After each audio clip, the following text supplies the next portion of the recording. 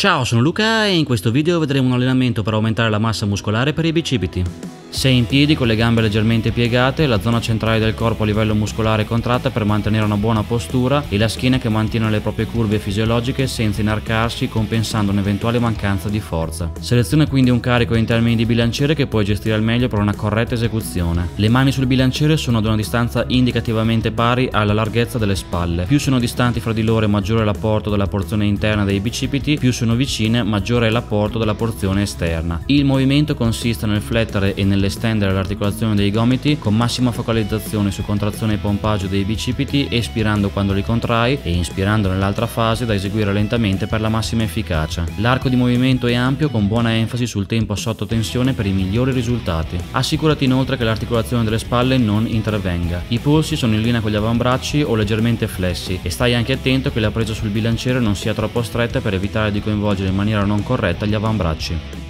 Sei in piedi con le gambe leggermente piegate, la schiena che mantiene le proprie curve fisiologiche e la zona centrale del corpo a livello muscolare contratta per una buona postura. Seleziona un carico in termini di bilanciere che puoi gestire al meglio per una corretta esecuzione per quanto riguarda tecnica e arco senza compensare un'eventuale mancanza di forza inarcando la schiena o flettendola anteriormente. Il movimento consiste nel flettere e nell'estendere l'articolazione dei gomiti con massima focalizzazione su contrazione e pompaggio dei bicipiti, espirando quando li contrai e inspirando nell'altra fase da eseguire lentamente verticalmente per la massima efficacia. Il bilanciere si muove all'interno di un binario immaginario verticalmente. La presa è in supinazione, con le mani ad una distanza indicativamente pari alla larghezza delle spalle. I gomiti rimangono vicino al corpo, spostandosi quindi all'indietro. Buona enfasi anche sul tempo sotto tensione da ottimizzare con un movimento lento e controllato per i migliori risultati. Con questo esercizio possiamo escludere l'intervento dei deltoidi. Infine, assicurati che la presa non sia troppo stretta per evitare di coinvolgere in maniera non corretta gli avambracci.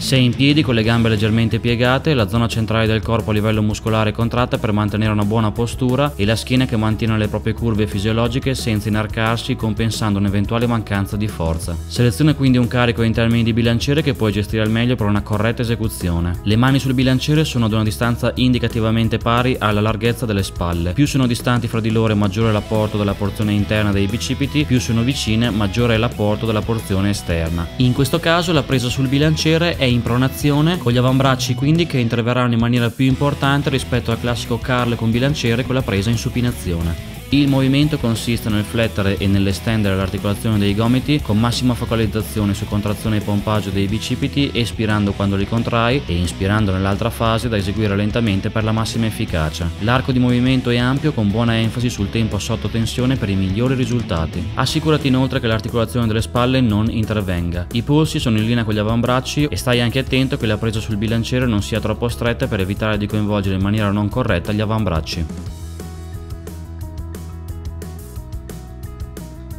Sei in piedi con le gambe leggermente piegate, la zona centrale del corpo a livello muscolare contratta per una buona postura e la schiena che mantiene le proprie curve fisiologiche senza iperestendersi compensando un'eventuale mancanza di forza. Seleziona quindi un disco in termini di peso che puoi gestire al meglio per una corretta esecuzione per quanto riguarda tecnica e arco di movimento. L'impugnatura sarà a martello con gli avambracci quindi che intervengono a livello muscolare in maniera più importante rispetto all'impugnatura in supinazione. L'esecuzione consiste nel flettere e nell'estendere l'articolazione dei gomiti con massima focalizzazione focalizzazione su contrazione e pompaggio dei bicipiti, espirando quando li contrai e inspirando nell'altra fase da eseguire lentamente per la massima efficacia. L'articolazione delle spalle non deve intervenire. Buona enfasi infine sul tempo sotto tensione con un movimento lento e controllato e un ampio arco per i migliori risultati.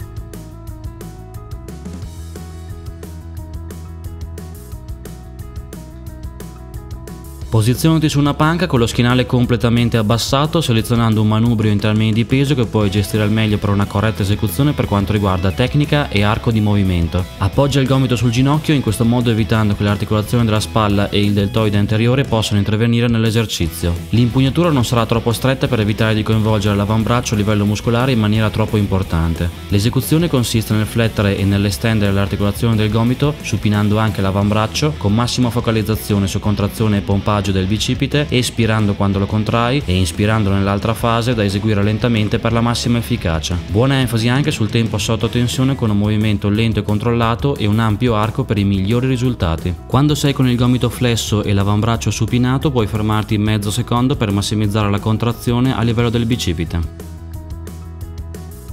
Per quanto riguarda l'aumento della massa muscolare, qui trovi gli altri esercizi. Ti invito a iscriverti al mio canale e come sempre se vuoi fare un salto di qualità in termini di forma fisica puoi contattarmi e ti spiegherò come posso aiutarti a distanza con il mio servizio di personal trainer online.